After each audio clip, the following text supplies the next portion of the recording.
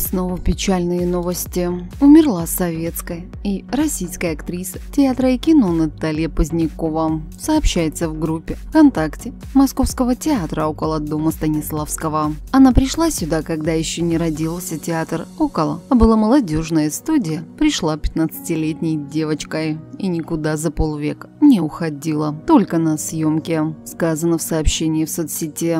Коллеги Поздняковой отметили, что, несмотря на востребованность в кинематографе, артистка считала театр главным делом своей жизни и не соглашалась на съемки в ущерб репетициям спектаклей. Поздняковой было 66 лет. Причины ее смерти не уточняются. С 1986 года актриса снялась в 64 фильмах и сериалах, среди них «Антикиллер», «Домашний арест», «Орел и решка», «Мама», «Вор», «Границ таежный роман», «Солдаты», «Обратная сторона Луны», «Два», «Марш Турецкого», «Остановка по требованию», «Мир, дружба, жвачка» и «Счастливы вместе». Светлая память артистки.